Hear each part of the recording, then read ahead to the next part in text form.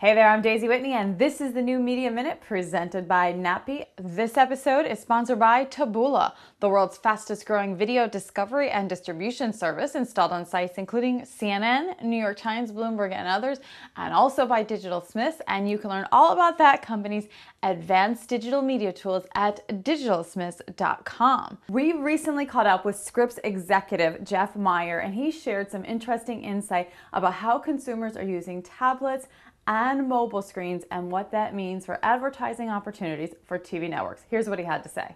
We've experienced very rapid growth in mobile over the, even the last few months. And what we're finding is that the mobile usage is happening, um, we, can, we, can, we can deduce that it's happening in the house.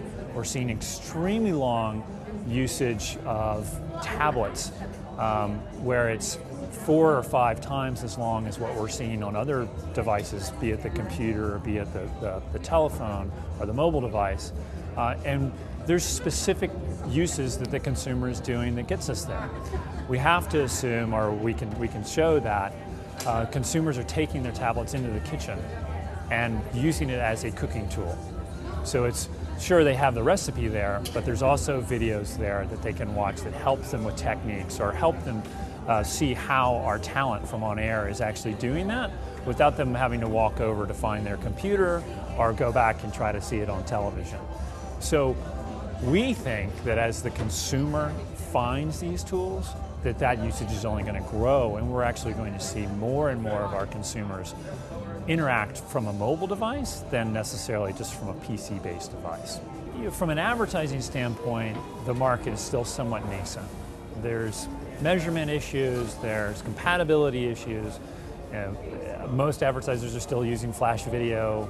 A lot of them are moving to HTML5, which is great. So we're able to take advantage of these different devices. I think this year you're going to see a lot of work done on being able to take one asset and use it across multiple devices in a much more seamless fashion. So that's going to help from an advertising standpoint, and that's going to help from a content standpoint. And frankly, the formats in mobile are getting bigger and nicer and better, and so the advertising opportunities are only going to change. And here at CES, to hold some of the new mobile phones in your hand, especially the 4G models, it's that experience could be good for full episode viewing, it could be good for short form, it could be good for looking at recipes. So I think we're moving into a, a, a new realm here where the flexibility uh, that you're finding in these devices are really going to help drive consumer usage um, and consumption of media across these devices. Thanks so much, Jeff. And don't forget, NATPE is coming up next week, January 23rd in Miami. You can still use my promo code for a $750 rate. That's a big discount off the typical rate. So check out the show. Great networking opportunity and lots of terrific speakers. Friend me up on Facebook or follow me on Twitter.